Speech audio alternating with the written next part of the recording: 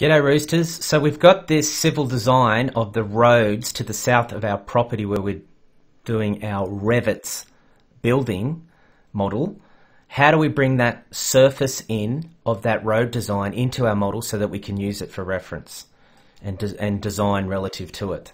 So first of all, this is the civil design drawing that's been just stripped down and it only has some text to orientate yourself, some contours of the road design, and the boundaries and the architects place the grid in this model so that we can place it against our Revit model grid. Now this file is in the survey coordinates so I don't I'm not going to move that I'm just going to leave it as it is. Now there's one area that is uh, quite different that I have adjusted. Unfortunately the the three the surface design from the civil designer wasn't in uh, 3D contours so I had to manually do this which was a bit of a shame. You can ask your civil designer to send a 3D uh, file of your contours or a TIN surface, which will work.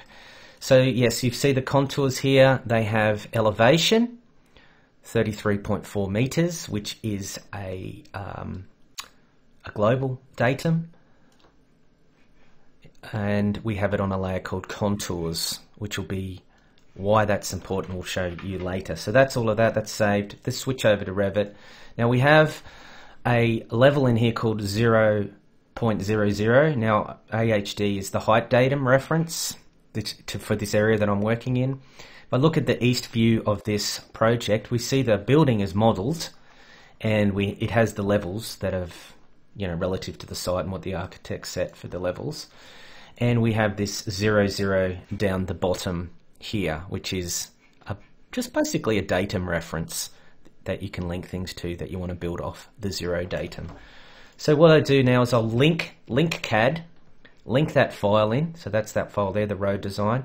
Current view only must be ticked off or this will not work. Black and white, yeah, that's what I normally do. Import units, yes, it is in the file, the, the DWG AutoCAD file as meters.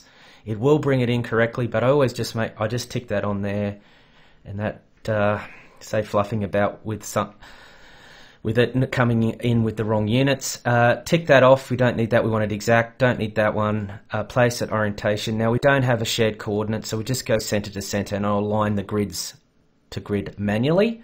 So we'll import that. It'll plop it in the middle here, which would be nice. Now, of course, that's a bit hard to see, so because uh, it's black on black and laying over each other. So I'll just move it over there temporarily. Type in VG, go to import categories, expand that one out, which is your name of your file. I always do half tone because it makes it lighter, easier to see, and differentiate between what's your model and what's your reference model. Change, the, select everything, change the color to say green, because it's um, design um, and make the line weights one so it doesn't dominate the drawing anything. Now how do I align that with that? Well one simple way is the align tool which is AL, AL.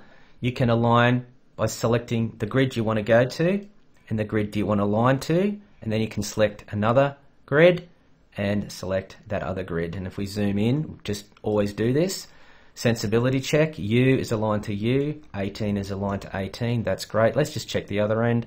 A is aligned to A perfectly and 1 is aligned to 1. So I have confidence that that is aligned correctly. Going to the 3D view, you can see the uh, DWG file. Because I selected, did not select current view only, you can see it in this view and you can see uh, the reference stuff at the bottom, the grids, the boundaries, etc the text, and we have the contours up here in 3D, and they look about right. That's that's aligned about right to where the boundaries. You can see entry ramp here. That those contours are not far away. So now we want a topo surface. So we go to uh, massing and site. We've got topo surface.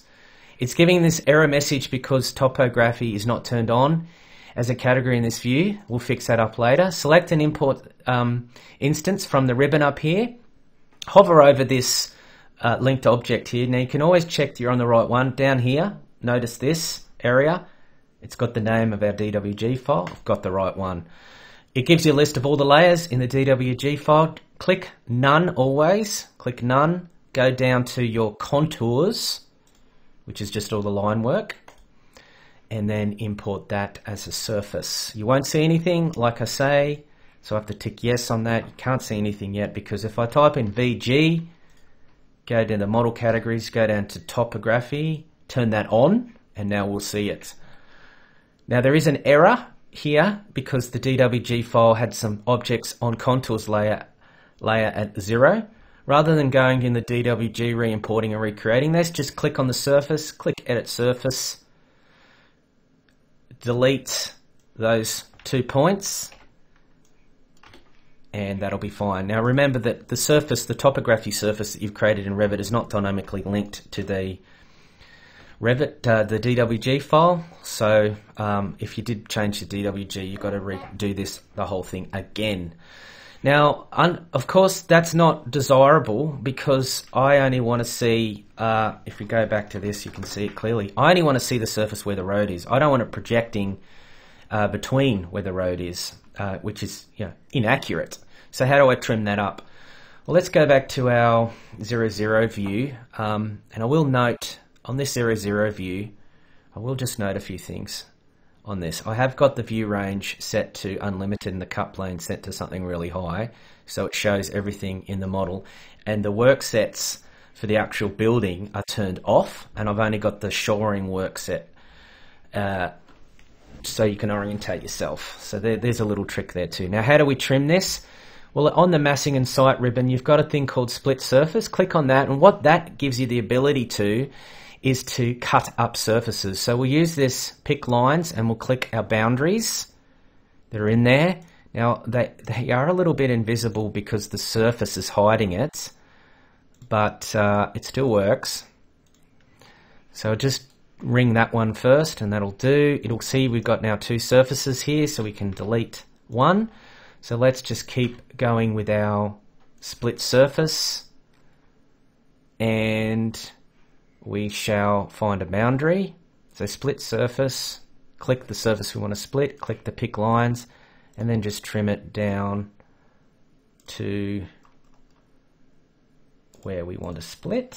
This one might ring it, a, might be able to do this. Let's, not sure if this is going to work because we've gone outside the Yes, it should work. This should work. I just got to trim this one up. No, it didn't work because that because that because that's slightly gone out of that. So what I just need to do here is delete delete this one and do that one as a. It's trying to you just two splits. That's all you you can do. Um, so I'm having some issues there. Let's just simplify it a bit. And probably because it wasn't projecting past. I don't know what's going wrong here now. I must have some line work wrong. So if you ever get stuck, just abandon and start again. Uh, I'll try up here, see if this works. If this doesn't work, I'll just cancel it and start the sequence again. Yep, so that one worked. I can delete that one. So let's have another stab at this.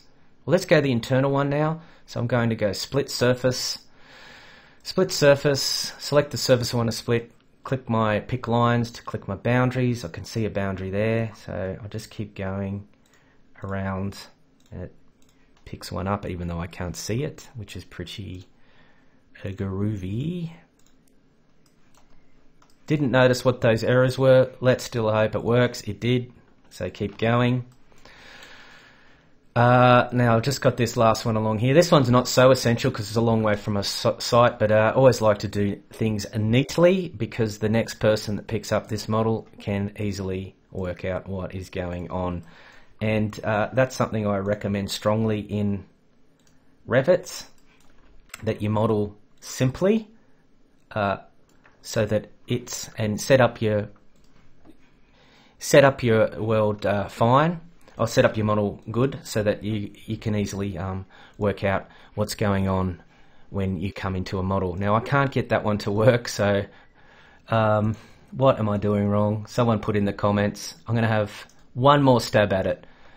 Surface, split surface. I'm going to do it in a different way this time. I'm just going to draw a line, a straight line, because I don't need that side at all.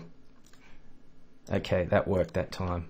Don't know what I did wrong there, but we got it to work what we wanted. So now we've got the surface in this model as reference. So when we cut sections to this model and cut elevations, it will be more accurate and that'll be bang on. The only other thing I always like to do just to finish off is put it on a material layer that's logical. So site dash road civil because uh, there will be a land survey one in there as well, which will just be the current land survey because this is design uh, under construction, the roads.